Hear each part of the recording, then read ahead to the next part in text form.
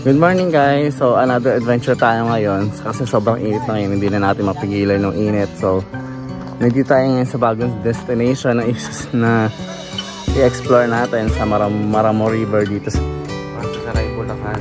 So dito yon And tala, mag-inquire na tayo para sa mga payment. Ayan, so nandito na kami sa ano, mga ginawa nilang mga sasakyan para hindi na tayo magka-trek kasi may napanood akong vlog, parang 40 minutes to 45 pa sila naglakad. So ito, dahil madami kami, so madami kaming gamit. So nagsumakay na kami dito. Ayan. Ay, Diyos ko na naglakad. Kaway-kaway mga guys. Ayan, mga tropa, may bago tayong mga recruit. Nasa yung mga bago recruit natin ngayon. Ayan, excited ako.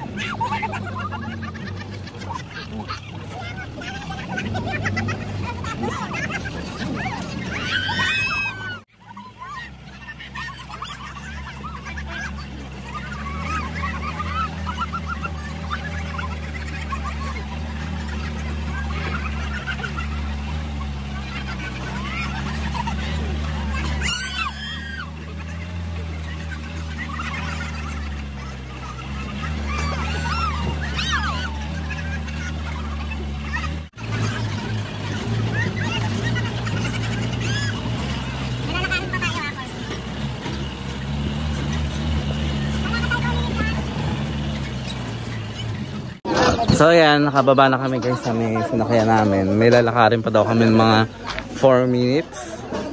So may trekking tayo ng konti. At least medyo nabawasan ng trekking natin kasi sumakay na tayo ng 4x4.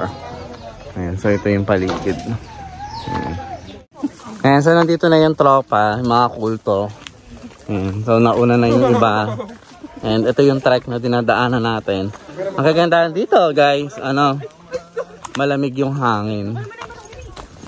Kasi napapagidan to guys ng, ano, ng mga bundok. Ayan, so mayroon tayong dadaan ng mga bamboo forest. Kaya medyo relaxing yung daanan. Mga 4 minutes lang daw na trek. So alam ko na pagbaba natin nandun na yung mga cottage. Tapos doon tayo sasakay ng balsa. Kung gusto natin pumunta sa may cave, yung El Nido look alike. Ayan, so trek lang tayo. So dito guys yung ano, yung payment. Yung isa po yung pwede po mag-log ng Ayan. Lahat po ng So all activities is tapos 70 name lang naman. pesos. Including balsa pinili ride, po, cliff diving, sinundag. Life vest is Tapos 50 isang pesos. Yung cottage is 250 pesos. And mga rules. No life vest, no swimming. Food and alcoholic drink are not allowed at the activity area. So bawal sa cave yun. Tapos, pagka 7 years old pababa, bawal. And yun, watch your valuable things kasi hindi nila pananagutan kung ano man nawala. Big, big. So, naglalagay. Ano pang Rara? Ah, ay, Joy. Ayan. So, madami ng tao dito. Kasi yung iba nag-overnight. Yung mga cottages. Tapos ito yung mga tents. Ayan, yung mga nag-overnight dyan. And ito yung pinaka-river. Ayan. Yung sinasakay na balsa. And yun, ang ganda ng river guys. Ayan. Tapos may mga mountains. Tapos yan ang crowd. Ngayon guys, so meron silang platform na made of bamboo saan pwede doon sila nag-set up ng ng ano, ng tag doon, ng tent. Kasi ilalim niyan tubig. Ang ano lang dito dahil medyo sumikat siya, so ang daming tao na pumunta. So dito lang kami nag nag ano, nag cottage. 250 pesos. Ayan, yun nga lang. Medyo tabi-tabi yung mga tao.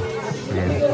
Sobrang dami. So kailangan ingatan nyo yung mga valuable things nyo. Like cellphone, wallet. Huwag nyo alisin sa katawan nyo kasi hindi natin alam yung mga takbo na mga isip ng ibang tao sa paligid. So lagi naman tayo dapat mag-iipit kahit nasa tao. So yan guys, na kayo magbo-board. Sasakay kayo sa raft, bamboo raft, tapos hinihila siya ng motorized bangka. So pila-pila. Kaya dapat guys, agahan nyo punta dito para hindi kayo ano, masabay sa sobrang daming crowd. Ayun na, yung kasama ko na to? Hala, ayun nga.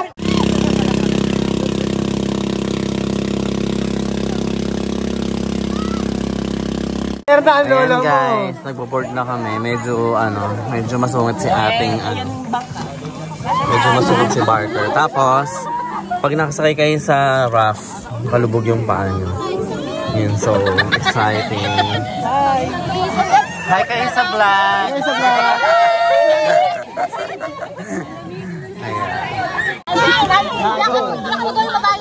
Hi! Baka mamaya Pangalan sa Eh, so titignan natin guys kung mukhang El Nido talaga or Palawan kasi yun yung yun yung bansag nila dito Palawan of Bulacan. Siguro dito tayo sa limestone. Ayan, tumatagilid yung bangka. Ayan. So yun guys, doon tayo pupunta sa cave na yon. So medyo masaya. Ah, bagong experience kasi rafting tayo. Going to the cave.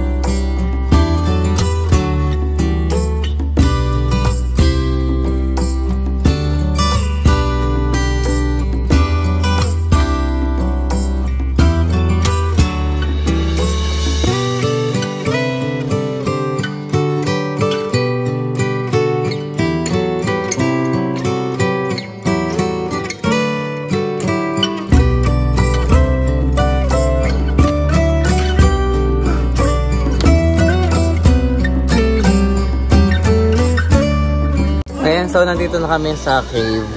And ayun, so makikita natin, sobrang green ng tubig. Sabihin malalim yan. Ayan. So kailangan talaga naka-life vest dito dahil super lalim daw ng tubig na to. Ayan.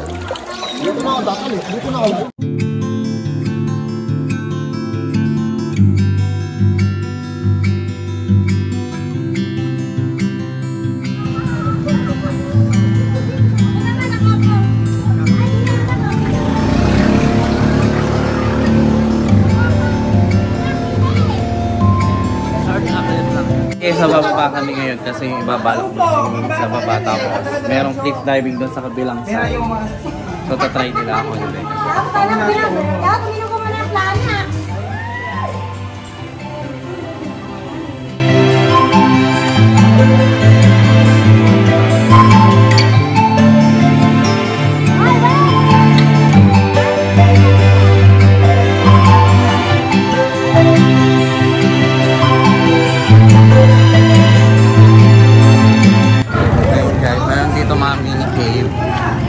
Kaya tayo dito sa hagdan.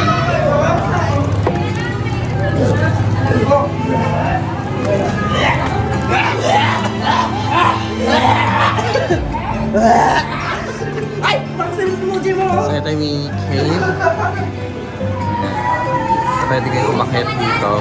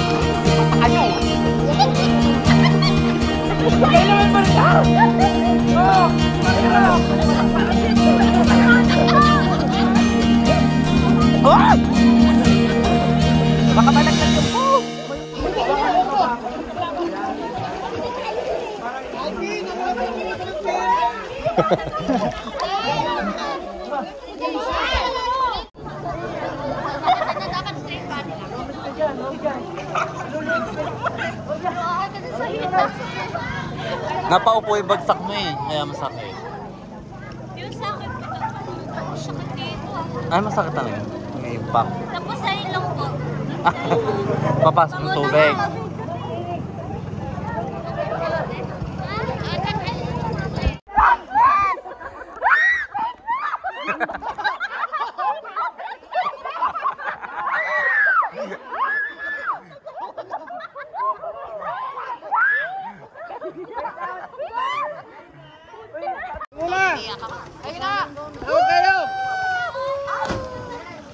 Diverter. So yun guys, pabalik na kami sa ano sa cottage para kumain. Tapos tayo mag-sleep. Ayun, sobrang dami na ng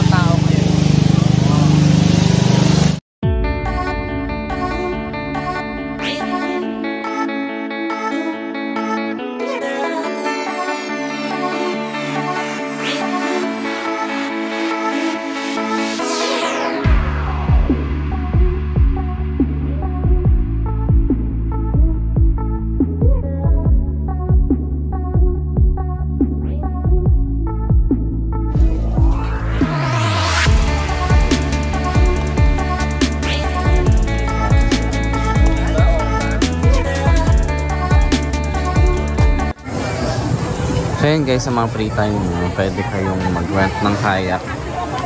Inflated kayak. Ayan. 500 pesos, sa Sawa daw. Kasi yung patuloy pa rin yung pagdating ng mga tourists. Para pumunta doon sa may... Yan, yung kanina yung cave doon. Zoom natin. Yan, doon sila tumatalon. Doon kami nang galing kanina, doon kami nag-boat. Tapos yan, pwede ka mag-swimming dyan. Basta naka-life vest kayo. Ngayon sa may kabi, yun kabilang ano, yun yung kabilang campsite. Bali, iba yung dito. Tapos iba yung nandoon sa kabilang side na. Doon yung daan nila. Makikita nyo yung nilubid. Yan. Tapos, sa may part na yon yung may talunan. Yan, pwede kayong mag bakit doon tapos mag-monkey swing kayo doon sa may lubid na yun. Kaya lang hindi ako nag-try kasi tatakot ako.